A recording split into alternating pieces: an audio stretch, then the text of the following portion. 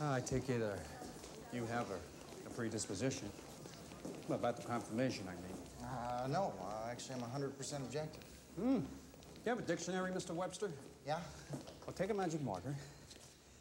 Cross out the word objectivity. Your, your constituents want you for your, your opinions, your philosophy, for your subjectivity. Very well, Mr. Glenn's expertise. Mr. Glenn, have you ever beaten a prisoner? No, that would be illegal. Not even when provoked? No. You've never hit, kicked, used a blackjack or straight razor? You've never Objection. punched a prisoner in your entire career? Objection, Your Honor. Sustained. Confine yourself to one question at a time. Is it not true that you ordered two guards to throw Henry Young down a steel flight of stairs, that you, you smashed his face with a blackjack, that you took a straight razor, sliced open his ankle, hobbling that man for life? That's the truth, isn't it?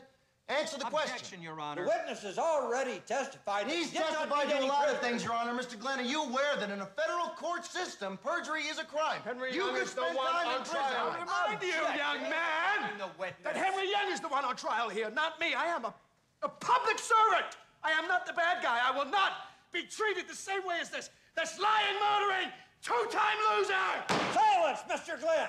Mr. Stamphill! You are perilously close to contempt of this court. You will proceed with caution. Is that understood? Temper, temper. He was asking about Alabama. Where the fuck is that bitch? She's with me. Who the fuck are you? I'm her husband. Yeah.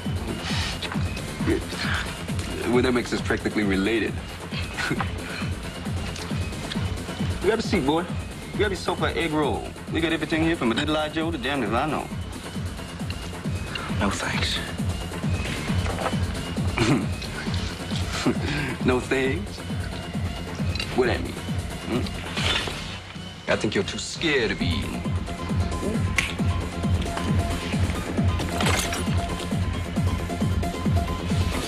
Let's see. We're sitting down here, ready to negotiate. You've already given up your shit. I'm still a mystery to you. But I know exactly where your white ass is coming from.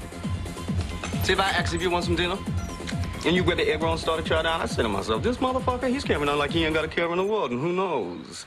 Maybe he don't. Maybe this fool's such a bad motherfucker. He don't got to worry about nothing. He just sit down, watch my motherfucking TV. See? you ain't even sat down yet. And that TV over there, since you've been in the room, is a woman with her breasts is hanging out.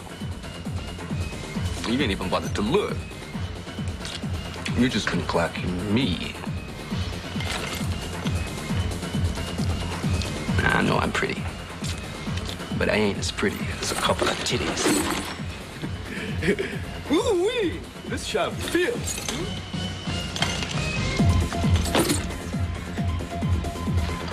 I'm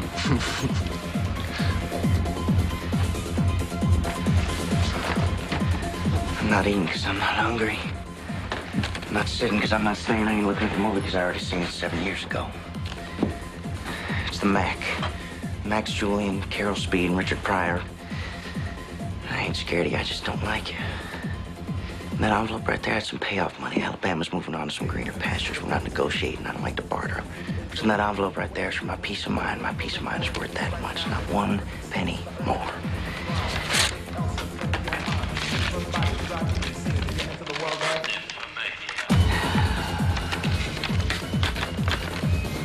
See ya.